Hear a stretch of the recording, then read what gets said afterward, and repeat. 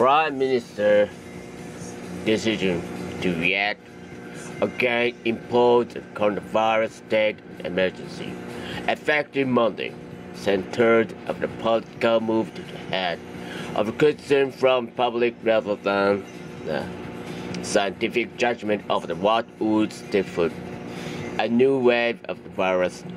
Although the scene of urgency associated with the emergency may have been diminished by their repeated use. This is the fourth time the measure has been implemented and business activities will be disputed. This administration calculated that the political fallout from the declaring it would outweigh the merits of maintaining the status quo, which would have further exposed intense criticism of the perceived inaction. Tokyo and other areas were under a curbside state of emergency as Sunday, and it was believed that the government would continue. The measure became many indexes, such as the hospital bed occupancy rate stood at stage 3. Declaring an emergency in Tokyo was um, an unexpected about face from the administration.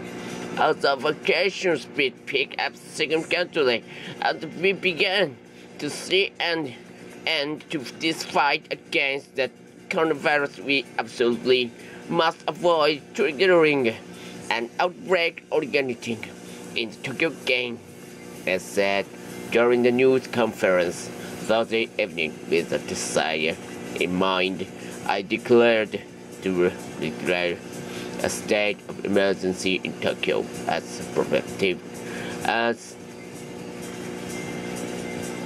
as the vaccination speed picked up significantly and we began to see an end to this fight against the coronavirus, we absolutely must avoid triggering an outbreak or getting the most strict opposition legally available to it in terms of limiting individual rights.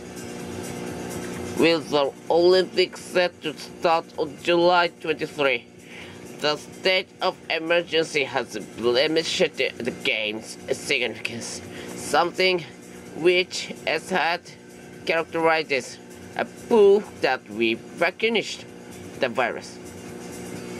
Both the central government and Tokyo metropolitan governments are eager to stay the game with limit on spectators and the quasi measure instead of with no audience under the state of emergency.